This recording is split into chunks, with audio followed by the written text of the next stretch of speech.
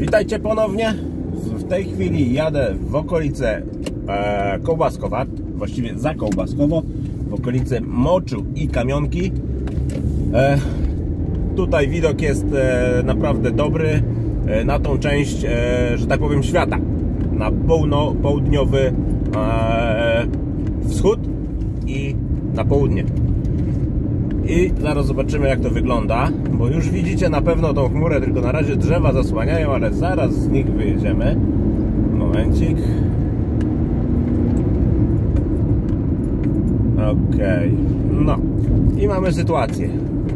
No, jest to ładne. Jest to ładne, jest niewielka chmura szerfowa, bardzo niewielka, e, ale ilość deszczu wygląda na e, bardzo obfitą jest tam ciemno, ale to dopiero e, pokaże mi widok, kiedy już będę na miejscu na Gryfino. Zaraz zobaczymy jak to wygląda. Burzowóz 01 sprawuje się idealnie na takich właśnie nierównych drogach. Mały, krótki samochód to jest po prostu bajka. Na wprost nas w tej chwili jest e, okolica Starego Czarnowa e, w prostej linii. Tutaj już widać jasną smugę. Obstawiam opad gradu.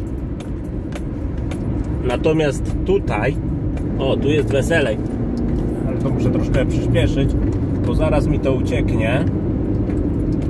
Dobra, trochę zwolnimy, będziemy uważać na rowery. Tutaj właśnie jest szlak Bielika. E, bardzo fajna trasa rowerowa. Dobra, tu skręcimy. I zobaczmy. I teraz nam się wyłoni obraz ten, który, na który czekamy. Jeszcze chwila. Jeszcze momencik. Górka dosyć stroma. O, no właśnie tutaj.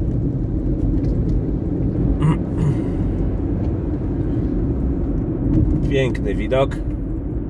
Zaraz sobie tu miejsce jakieś znajdę do parkowania. Mam tu swoje małe miejsce. To jest taka. O dobra. Ok.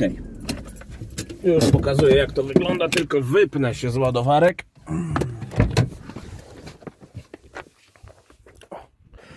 Proszę spojrzeć. Gryfina widać już ładnie tam pada. No, no to pofocę troszkę i, i zmoknę.